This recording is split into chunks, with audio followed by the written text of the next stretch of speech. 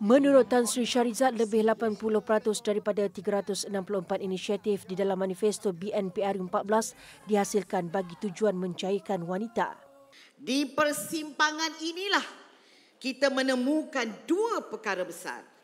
Kita mau bahagia, kita mau berjaya. Saya masih ada ibu, Alhamdulillah.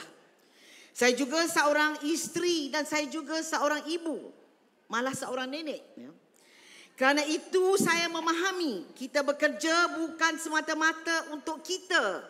Kita bekerja untuk anak cucu cicit kita. Kita bekerja untuk masa dan uh, generasi ya hadapan dan kita bekerja dan berjuang untuk negara. Jelas Tan Sri Syarizat justru 25 inisiatif untuk wanita dalam manifesto BN turut menumpukan mengenai indeks spiritual utama KSI serta indeks kebahagiaan utama KHI selain tanda aras asal melalui indeks pencapaian utama KPI.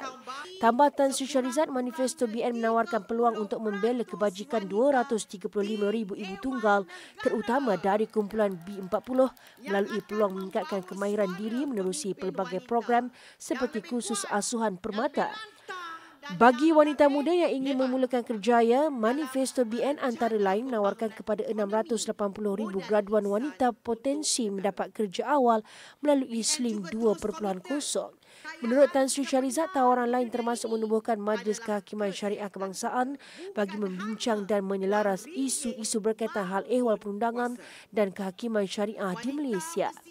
Juga tawaran pemeriksaan kesihatan rutin tanpa syarat di klinik kesihatan kerajaan bagi wanita yang berumur 35 hingga 40 tahun.